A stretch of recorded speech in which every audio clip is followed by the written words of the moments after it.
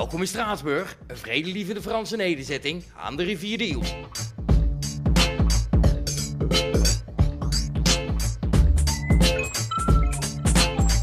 En waarom zijn we in Straatsburg? Omdat we heel graag de werkzaamheden van de gemiddelde Europarlementariër in beeld willen brengen. Alles goed, Daniel? Ja hoor. Al die geldverkwisting, ga jij dat laten zien? Ik ga jou alles laten zien.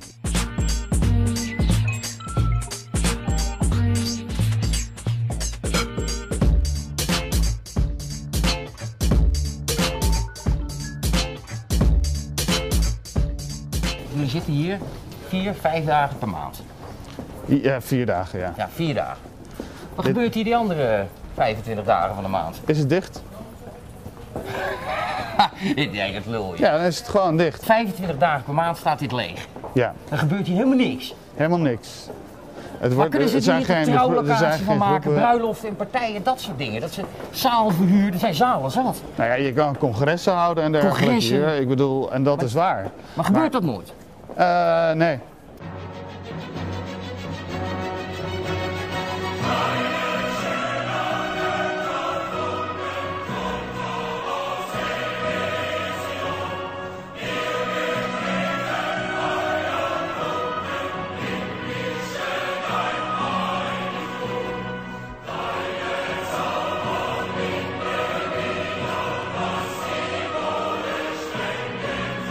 Laten we even kijken waar de Europarlementariërs in rondgereden worden.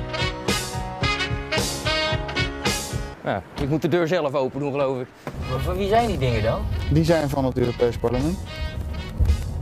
Van het of van de, eh, van- van- niet van de Europarlementariërs. Deze zijn gewoon van het Europees Ja, van Parlement. het Europees Parlement. We gaan straks Van onze even, centjes, hè? daar ja, we gaan straks even kijken bij de auto's van de Europarlementariërs. En wat een bakken, joh. Stel dat wij eh, zo meteen naar een, eh, een leuke nachtclub willen. Of zo, of Ja. willen ergens lunchen, zeg je gewoon, nou, doe doe mij een fijne, eh, fijne Franstalige chauffeur. En ik wil nu een Audi 8 Je loopt gewoon naar beneden en eh er staat de auto staat klaar voor je. En, eh, Goed zeg. Hé, hij leert wel snel, die roze. nou, Nou, en zo worden wij dus als Europarlementariërs eh, rondgereden in Brussel en in Straatsburg.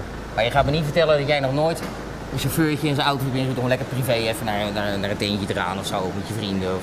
Eh, nou, gisteravond was iemand jarig van mijn eh, groep en daar zijn we ook met zo'n auto gegaan. Dus maar dat vind ik dan eigenlijk wel, weet je, dat je bent er heel erg op tegen, maar je maakt er wel gebruik van. Nee, op het moment dat ze het gaan afschaffen ben ik de eerste die meestemt. Maar zolang het er is, maak ik er gewoon gebruik van. Ja, dat zeg ik toch? Ja, maar, Eigenlijk ben je erop tegen. ja. maar Het is hetzelfde, een beetje net als Maar Brinkman hetzelfde- met wachtgeldregelingen. Zeg ja, maar. maar het is hetzelfde als met salaris. Kijk, als op het moment hier in stemming wordt gebracht van het salaris halveren, zal ik direct voorstemmen. Maar ik bedoel, ik ben geen socialist. We, gaan, we kunnen nu even gaan kijken naar in welke auto's de Europarlementariërs nou zelf rijden. Die, die, die ze zelf betalen. Ja. Wat verdien jij? Eh, mijn eh netto salaris, wat ik krijg van het Europees Parlement elke maand op mijn rekening, is 6200 euro. Dat is een prachtig loon. Ja. Mag je hebben van mij. Daar koop je geen Maserati voor. Daar koop je geen Maserati voor. Kan een Europarlementariër meer dan die 6200 euro krijgen? Ik kan me voorstellen Ja. dat er hier en daar een onkostenvergoeding is. Nou, ten eerste is het eh, sowieso dat wij een algemene onkostenvergoeding hebben van 4200 euro per maand. Dat krijg je bovenop je Dat loon. kan je bovenop je loon krijgen. Maar als jij dat vraagt, jij stuurt Ja. een mailtje naar degene die daarover raadt. Joh, ik wil 4200 euro. Moet je daar nog wat voor laten zien? Een bonnetje van, eh, nou, dat- Helemaal niks. Als Europarlementariër heb je per maand 21.000 euro te besteden aan personeel. Eh, Maar je mag zelf bepalen wie je aanneemt. Er zijn een aantal Europarlementariërs die op dit moment een vrouw of een familielid in dienst hebben.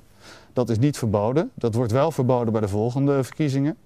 Maar wat, er nu, wat we nu al zien is dat er binnen bepaalde partijen ze mekaars vrouw aannemen. En dan heb je ook nog eens, en dat weet ik, je hebt de afstandsduur en reisduurvergoeding. En dat houdt in dat als je met de auto naar Straatsburg gaat of naar Brussel gaat, dan krijg je niet alleen de kilometervergoeding aan 49 cent. En dan krijg je de afstandsduurvergoeding, dus van wat is precies de afstand, daar zit er staat een bepaald bedrag voor. En hoe lang je in de auto hebt gezeten. Als je gaat van waar ik woon, Den Haag, naar, eh, naar Straatsburg, betekent dat 800 euro aan reiskosten die je krijgt. Wat hier gebeurt, zijn Roemenen en Bulgaren, die hebben dan iemand in dienst voor laten we zeggen eh 1200 euro, dat is daar een godsvermogen. En die rijdt gewoon elke week naar Straatsburg of naar Brussel.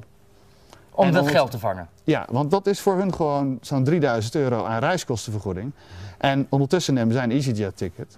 Dan heb je ook nog eens de daggeldvergoeding, die bedraagt 300 euro per dag. Dus dat eh, betekent voor elke keer dat je intekent hier eh, in, in Den Haag of in Den Haag, in Brussel of in Straatsburg, dan krijg je 300 euro op je rekening gestort. 6200 euro loon. 4200 euro krijgen. Voor wat weet eigenlijk niemand. Ja. 300 euro voor elke dag dat je hier Ja. bezig bent.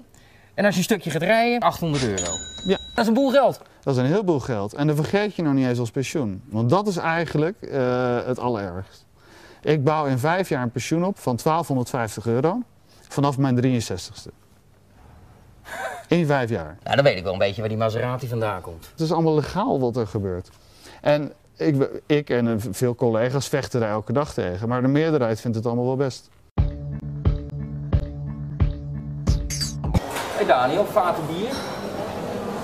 Ja, dit is van vanochtend denk ik. Dus ja, dat zou zomaar kunnen, ja. ja. Zo raken mensen hun rijbewijs kwijt natuurlijk. Ja, helaas. En allemaal de schuld van Europa. Nu kwart over twaalf, smiddags dus. En over een kwartiertje moeten de Europarlementariërs gaan stemmen. En dan schijnt het hier in goed gebruik te zijn om daarvoor even een, eh, een borreltje te nemen.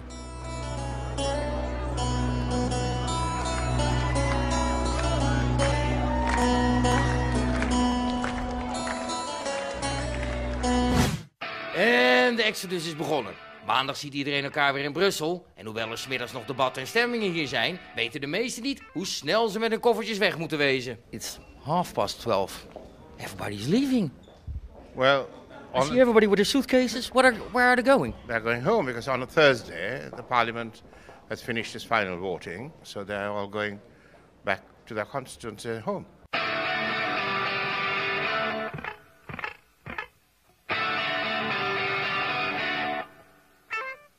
Can I ask you something? I'm losing my plane, I'm sorry. You're losing your plane. Did you have your own plane? No. Zit de taak erop voor vandaag? Helemaal. Maar die debatten vanmiddag? Kijk, wij moeten nog even zeven uur terug. Sowieso. Wij ook. Ja, jullie ook. Maar wij iedere maand. There's still debates this afternoon about human rights. Yes. Didn't you join that? Yes, sometimes I do, absolutely.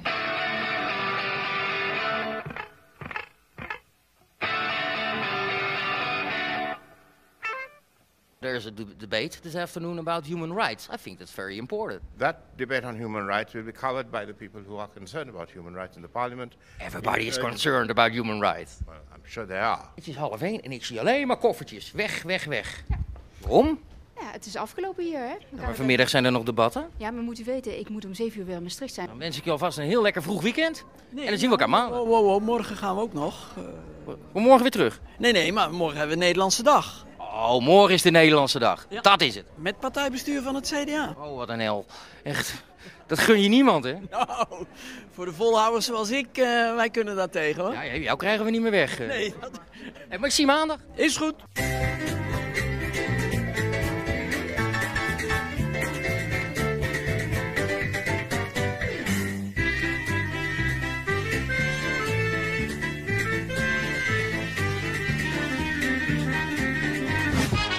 Hé, hé, eindelijk gaan wij ook lunchen. Niet in de kantine, maar in het ledenrestaurant. Op kosten van de belastingbetaler uiteraard.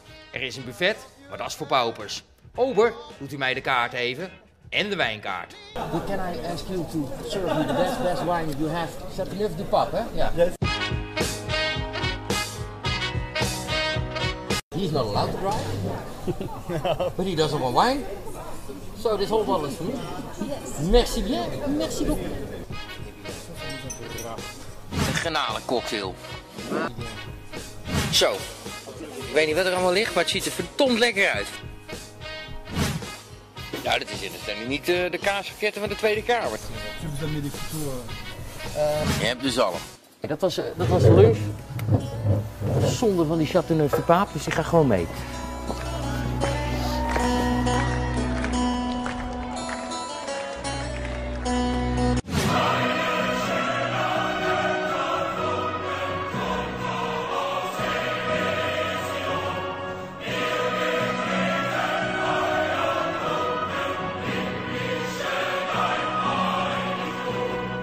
Monday in Brussels. See you Monday. You Monday in Brussels. Bis Montag in België. Kut moffen. See you Monday. See you Monday. See you Monday. Hurry up, sir. See you Monday in Brussels. See you Monday. Let's meet in Brussels. Monday.